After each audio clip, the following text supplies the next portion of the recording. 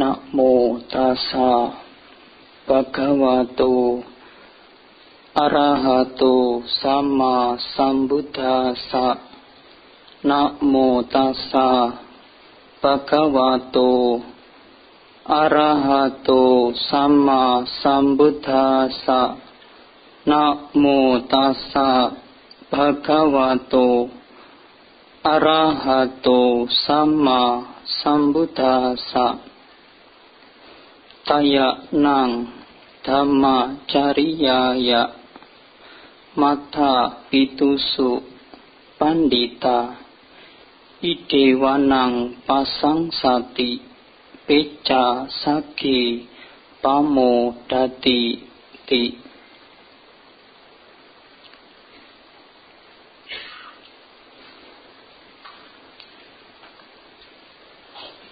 Pemimpin puja bakti. Bapak Ibu, Saudara, Saudari Sedama, selamat pagi, Namo Buddhaya.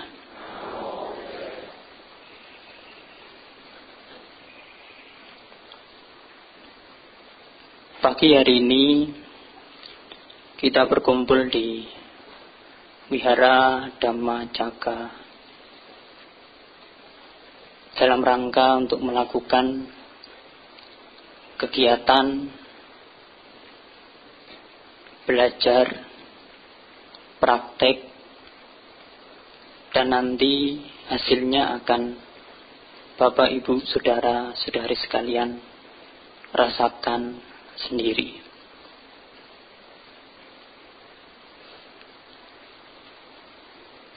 Pada kesempatan pagi hari ini, saya ingin mengingatkan kembali betapa pentingnya kita memiliki rasa hormat atau menghormati orang tua kita. Dalam hal ini adalah ibu dan ayah. Bapak Ibu Saudara-saudari sedama, Sang Buddha.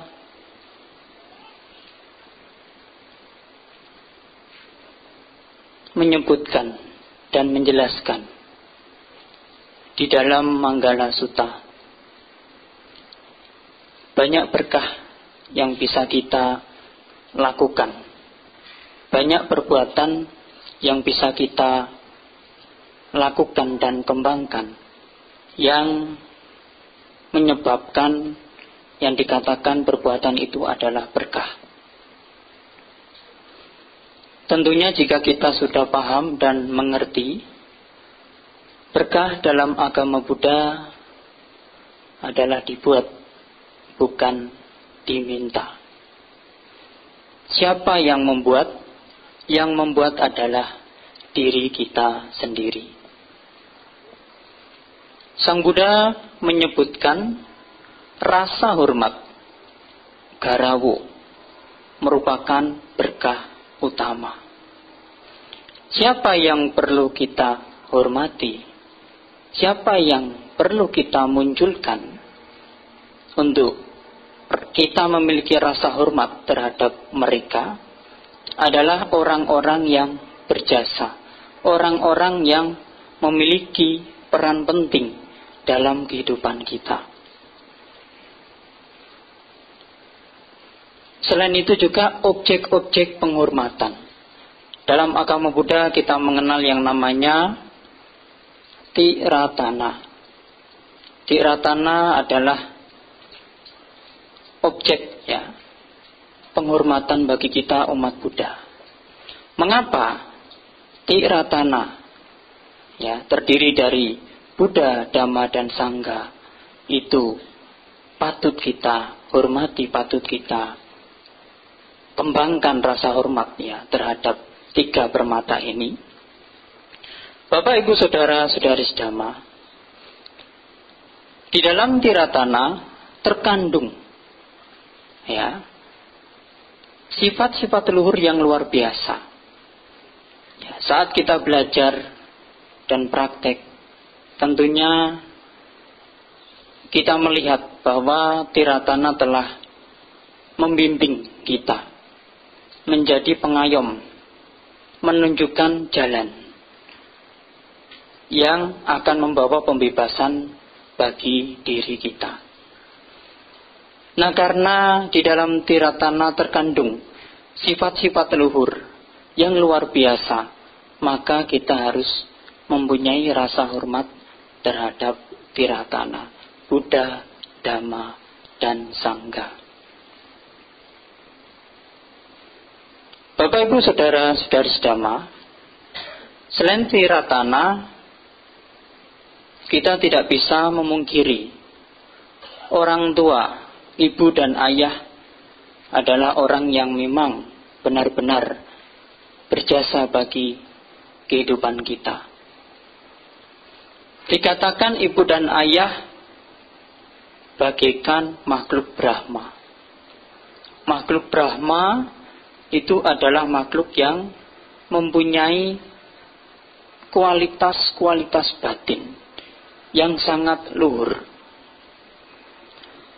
Makhluk Brahma selama hidupnya di alam Brahma mengembangkan yang namanya cinta kasih, belas kasih, simpati dan ketenangan ya, UPK. Nah, mengapa Sang Buddha mengatakan bahwa orang tua kita, ibu dan ayah adalah atau diumpamakan sebagai makhluk Brahma? Bapak, Ibu, Saudara, Saudari Sedama, karena makhluk Brahma selama hidupnya mengembangkan batin-batinnya, sifat batin yang luhur, yang luar biasa, Begitu juga dengan ibu dan ayah kita. Mereka juga menerapkan, mengembangkan sifat-sifat batin itu sejak kita dalam kandungan. Terutama seorang ibu.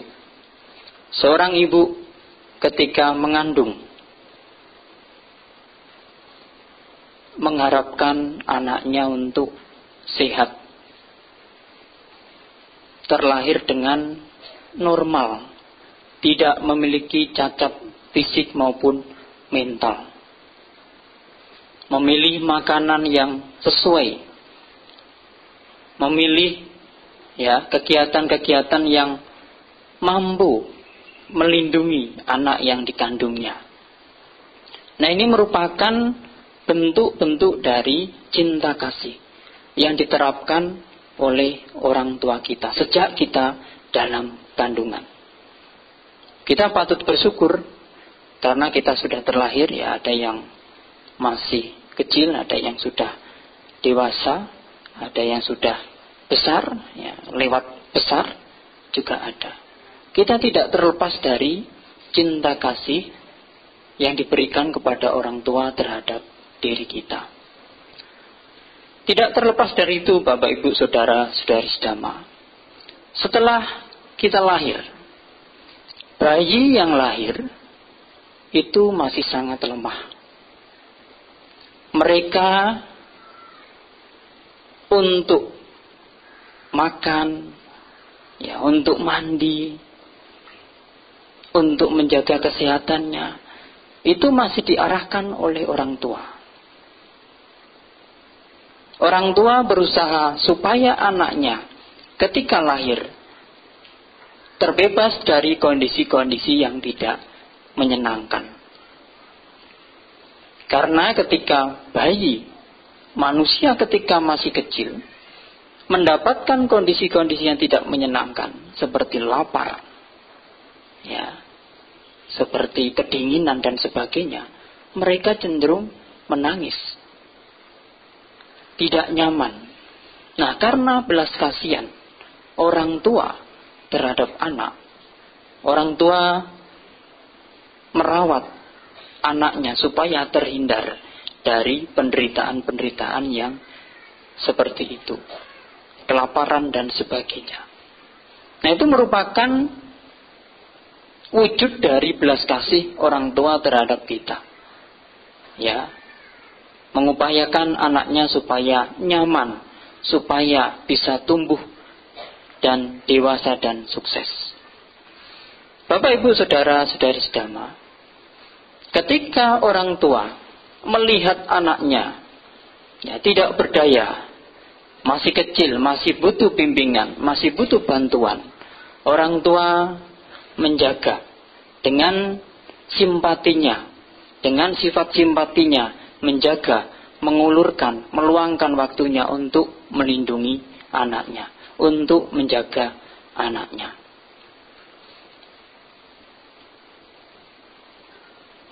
Selain itu, ketika tumbuh dewasa, orang tua mengajari anaknya cara berbicara, ya, diarahkan mana yang baik, mana yang tidak baik.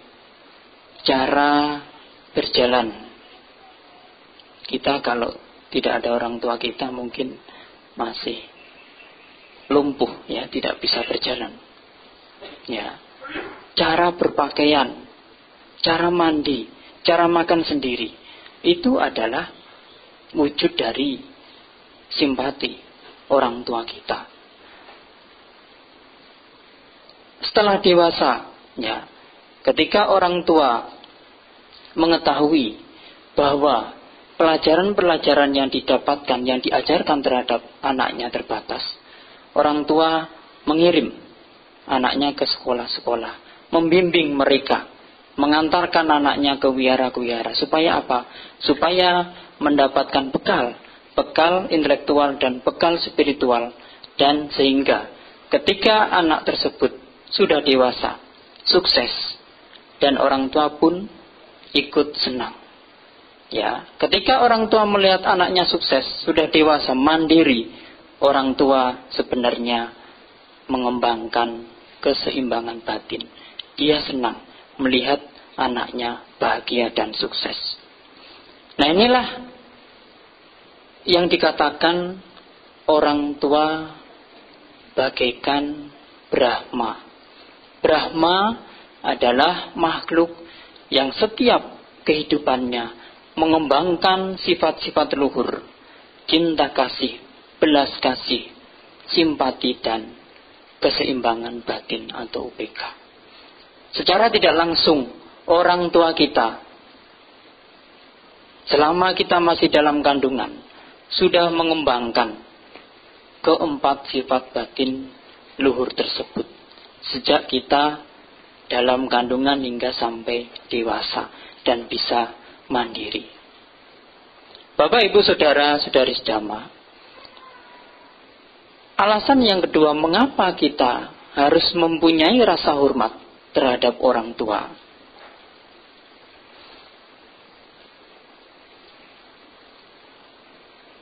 Orang tua adalah guru utama, guru pertama ubacaria. Sebelum anak tumbuh dewasa dan memerlukan pendidikan-pendidikan di luar dari lingkungan keluarga. Sebenarnya orang tua kita lah yang pertama kali mengenalkan kita terhadap kebaikan yang harus dikembangkan dan terhadap keburukan yang tidak harus dikembangkan. Sejak kecil, orang tua mengajari ketika anak mulai tumbuh. Ya, belajar misalnya berbicara, belajar berjalan, belajar menggunakan pakaian. Ya, belajar bagaimana berbicara dengan baik. Ya, belajar bagaimana berteman dengan baik. Belajar bagaimana bersikap supaya diterima oleh lingkungan. Nah, itu merupakan wujudnya dan contoh-contoh bahwa orang tua adalah guru pertama, guru utama kita.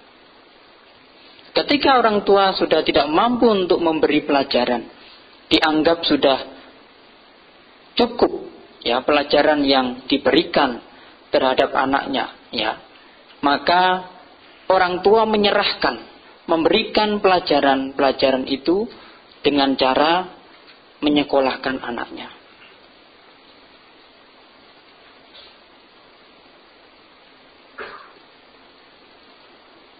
Nah ini adalah ungkapan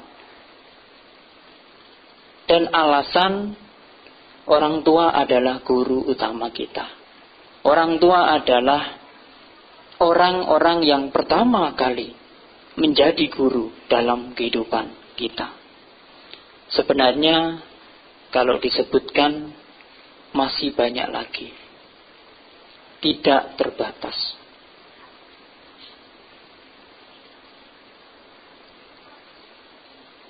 Bapak, Ibu, Saudara, Saudari sedama, orang tua memang tidak semua mengharapkan balas jasa.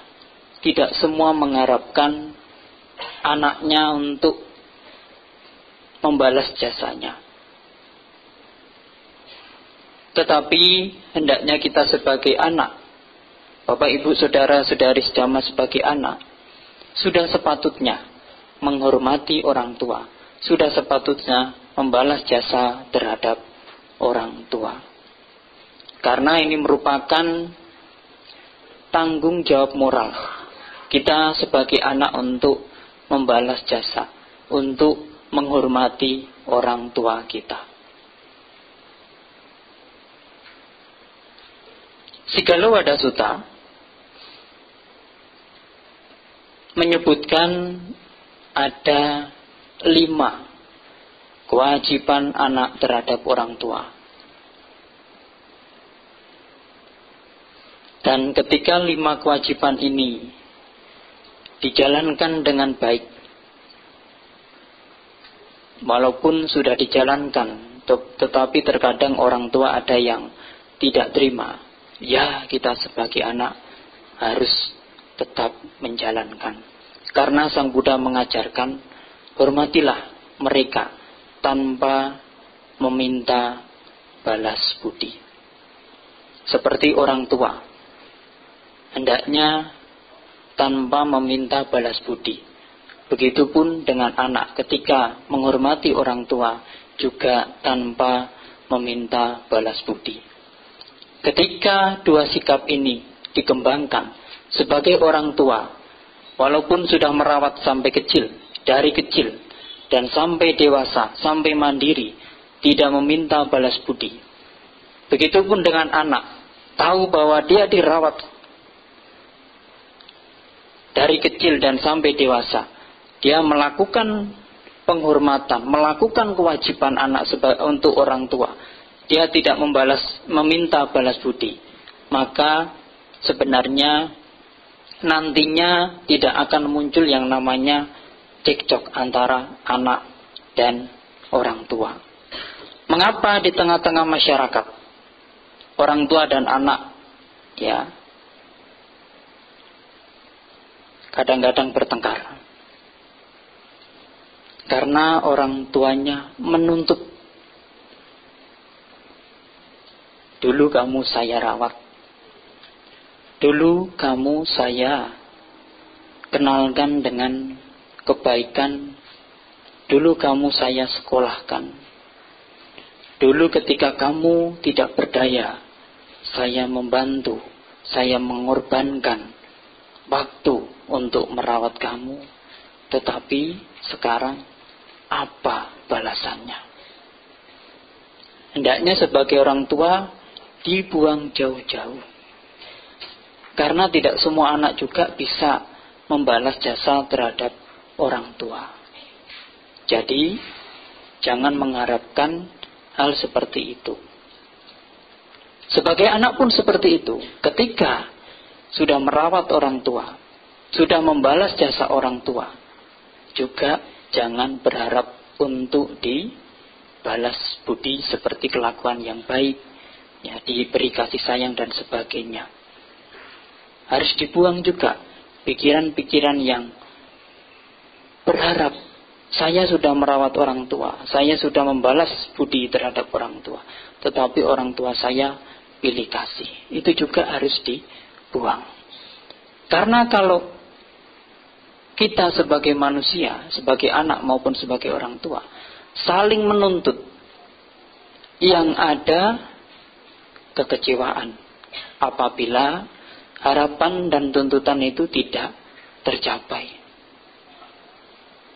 Berilah cinta kasih, berilah kasih sayang, berilah rasa hormat, berilah sifat mental yang baik, perilaku-perilaku yang baik. Orang tua maupun terhadap anak dan anak terhadap orang tua. Tanpa mengharapkan imbalan. Walaupun imbalannya hanya ucapan terima kasih. Dengan mempraktekkan hal ini, maka Bapak Ibu sekalian tidak akan kecewa ketika mempunyai anak tidak berbakti. Tidak akan kecewa ketika mempunyai orang tua yang tidak baik.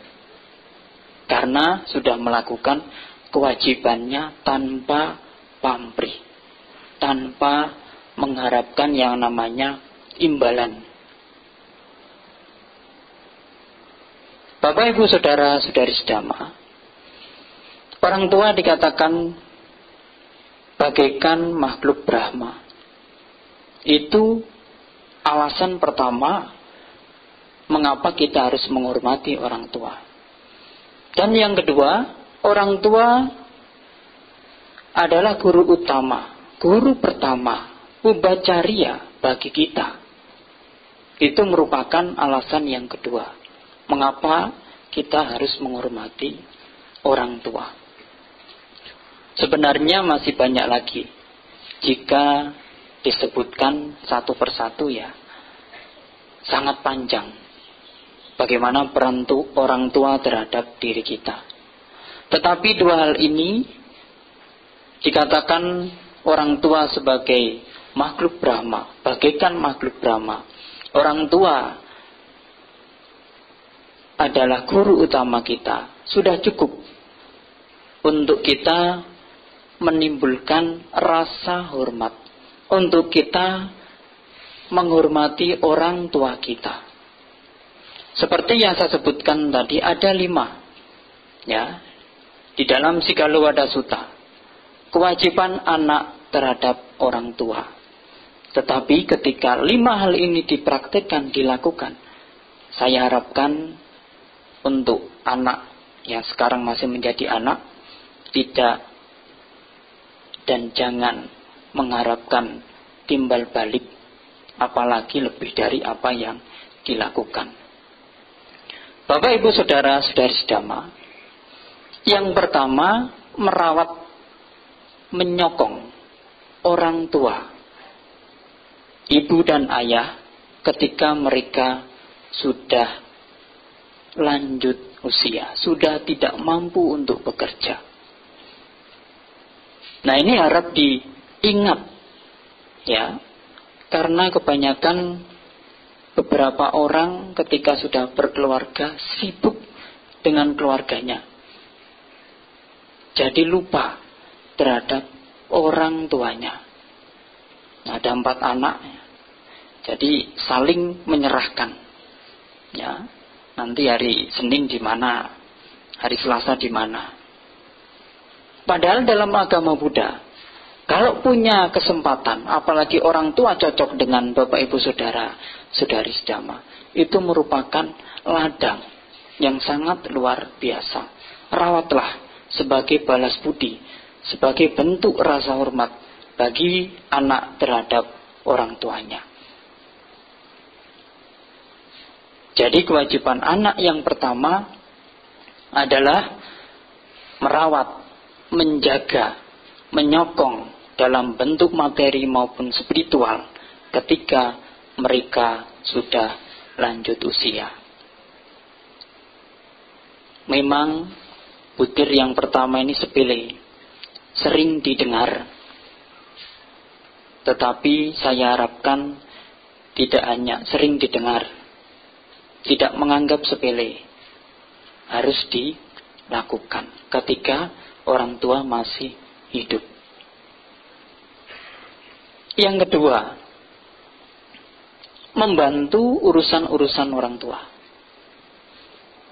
Semasa hidupnya, ya ini tidak menunggu ketika orang tua itu sudah lanjut usia. Tetapi sebagai anak diharapkan untuk membantu urusan-urusan orang tua dalam hal apa pun. Ketika orang tua sakit, walaupun masih muda, dan lain-lain ya dalam bekerja dan lain-lain. Nandaknya itu dibantu. Jangan biarkan ya orang tua kita sedih dan merasa ya hidupnya tidak dihargai, tidak dihormati oleh anak-anaknya. Karena ketika anak sudah berkeluarga, tentunya punya kewajiban untuk merawat ya istri dan mungkin generasi ya eh, anak-anaknya, tetapi juga jangan lupa untuk membantu urusan-urusan orang tua. Yang ketiga, menjaga nama baik keluarga. Bapak, Ibu, Saudara, Saudari sedama, ketika sebagai anak mempunyai perilaku yang baik,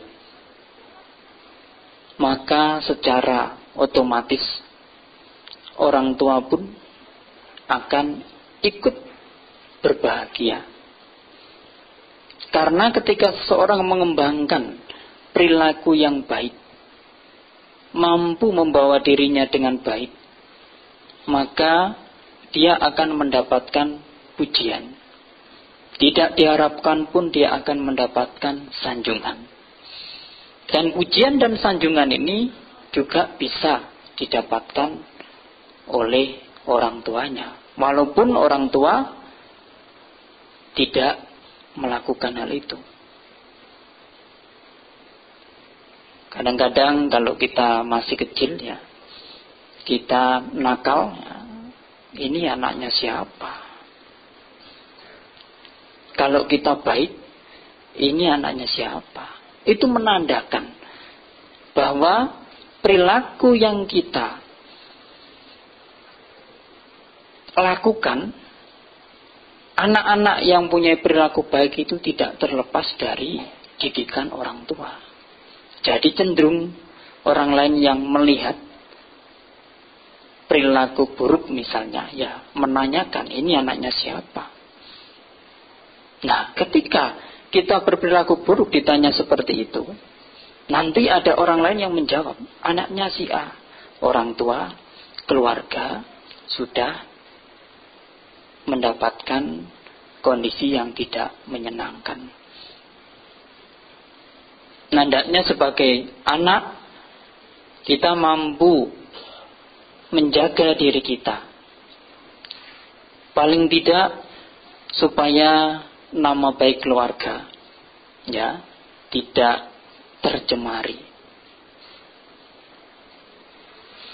Yang selanjutnya Bapak Ibu Saudara-saudari sedama ada butir yang keempat, menjaga warisan, kekayaan orang tua. Kekayaan atau warisan orang tua ini tidak hanya bentuk materi, tetapi juga ada tradisi-tradisi, ada bentuknya keyakinan. Nah, itu harus kita jaga, kita lestarikan. Terutama sebagai umat Buddha tentunya harus menjaga ya warisan, mempunyai keyakinan terhadap tiratana. Saya kira banyak yang orang tua yang datang dengan anak-anaknya. Ini merupakan wujud dari cinta kasih, wujud dari belas kasih wujud dari simpati orang tua untuk membawa anak-anaknya ke wihara untuk mengajarkan supaya kehidupan yang selanjutnya, kehidupan saat ini ya tidak memiliki keyakinan yang lain, tetapi tetap memiliki keyakinan terhadap Buddha Dhamma. Jadi kita patut untuk menjaga warisan-warisan orang tua, untuk menjaga warisan bentuk materi maupun warisan bentuk-bentuk tradisi, bentuk-bentuk kebiasaan-kebiasaan baik yang sudah dikembangkan dalam keluarga. Bapak Ibu Saudara Saudari Sedama, memang ketika sudah berkeluarga sebagai seorang putri harus berkorban. Jauh dari orang tua. Ya mengikuti suaminya. Tetapi bukan berarti lima kewajiban ini tidak bisa dilakukan. Oleh karena itu ketika sudah berkeluarga sibuk dengan urusan-urusannya sendiri mempunyai banyak kesibukan ketika ada waktu luang rawat orang tua. Tanya paling tidak, apakah dalam keadaan baik tidak kesulitan. Nah itu merupakan juga satu bentuk bagaimana kita sebagai anak menghormati orang tua kita. Bapak Ibu Saudara Saudari Sedama, bagaimana jika orang tua sudah tidak ada? saya kira yang hadir di sini sebagian ya orang tuanya juga sudah tidak ada mengalami kematian. Hal ini kita tidak bisa pungkiri karena setiap manusia pasti akan mengalami hal itu. Ketika orang tua sudah mengalami kematian, sudah tidak ada maka Sang Buddha menyebutkan kita harus berbagi jasa. Mengabarkan perbuatan baik yang sudah kita lakukan terhadap orang tua. Apakah hanya orang tua pada kehidupan saat ini? Tidak. Kita sudah begitu lama mengalami kelahiran dan kematian yang tidak terhingga. Jadi kita juga bisa melimpahkan, mengabarkan perbuatan baik itu terhadap orang tua kita dan sanak saudara yang lain. Dengan cara apa? Melakukan pati dana. Nah itu adalah lima kewajiban anak terhadap orang tua semasa orang tuanya masih hidup maupun orang tuanya sudah meninggal. Empat yang pertama, ketika orang tua masih hidup, hendaknya sebagai umat Buddha, kalau sekarang sudah mempraktikkan hal itu, melakukan kewajiban itu, maka harus di tingkatkan dan dikembangkan. Dalam melakukan kebajikan itu selama orang tua masih ada. Nah, ketika sudah orang tua sudah tidak ada, maka melakukan patik dana. Patik dana ini kita lakukan selama anak, selama kita masih hidup. Ya, tidak nanti kalau sudah berapa hari sudah bebas, sudah lepas. Tidak. Selama kita masih hidup, kita masih bisa melakukan kewajiban kita terhadap orang tua ketika orang tua sudah tidak ada. Nah ini Bapak Ibu Saudara Saudari Sedama yang merupakan mengapa kita harus mempunyai rasa hormat ya terhadap mereka orang-orang yang patut dihormati. Terhadap mereka objek-objek yang patut kita hormati. Karena perbuatan ini merupakan berkah bagi kita ketika kita kembangkan. Ketika Bapak Ibu Saudara Saudari sedama mampu mengembangkan, memiliki rasa hormat pada tiratana orang tua maupun orang-orang yang uh, sepantaran dengan kita, nah itu merupakan berkah bagi kita semua. Dan ketika itu dikembangkan dalam kita hidup dalam sehari-hari, maka termasuk banyak sekali dhamma, banyak sekali ajaran Sang Buddha yang sudah kita praktekkan.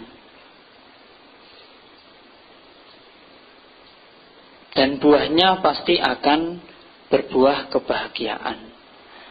Ketika mampu memiliki rasa hormat dan melakukan kewajiban anak terhadap orang tua. Bapak Ibu Saudara Saudari Sedama, jika sekarang statusnya sebagai orang tua, maka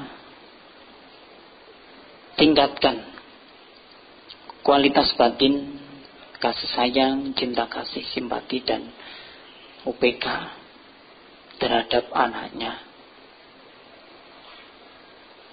Tingkatkan selama anak masih dalam lingkungan keluarga maupun di luar lingkungan keluarga. Dalam lingkungan keluarga berarti anak masih tinggal satu rumah. Ketika anak sudah tidak tinggal satu rumah juga tetap ditingkatkan. Kenalkan dengan kebaikan-kebaikan. Karena dikatakan orang tua adalah guru bagi anak-anaknya harus terus membimbing untuk mengarahkan anaknya supaya ada di jalan yang baik. Sebagai anak juga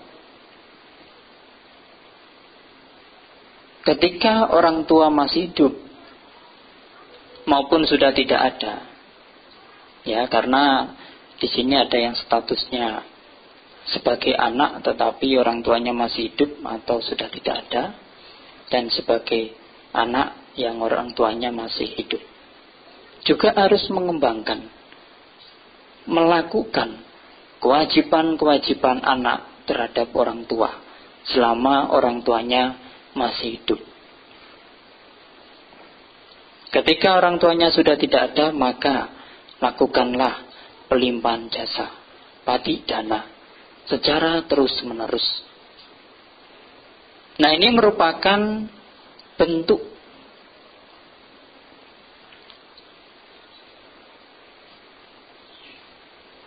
perilaku yang baik.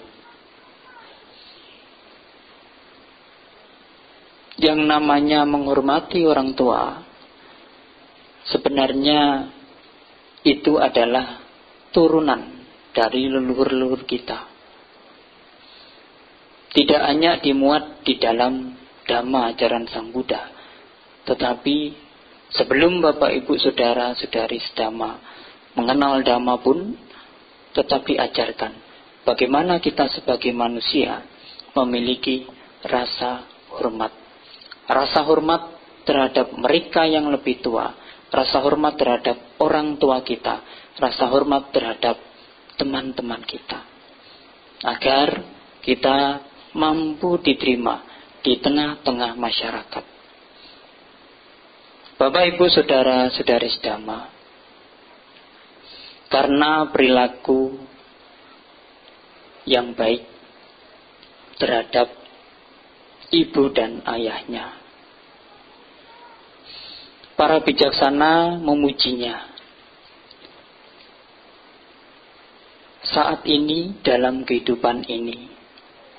Dan setelah kematian ia bergembira di alam bahagia. Semoga Bapak Ibu Saudara Saudari Sedama bisa meningkatkan rasa hormat terhadap mereka orang-orang yang patut dihormati terhadap tiratana, terhadap orang tua, terhadap orang yang lebih tua, terhadap teman-teman kita semua. Semoga semua makhluk hidup berbahagia. Sadhu, sadhu, sadhu.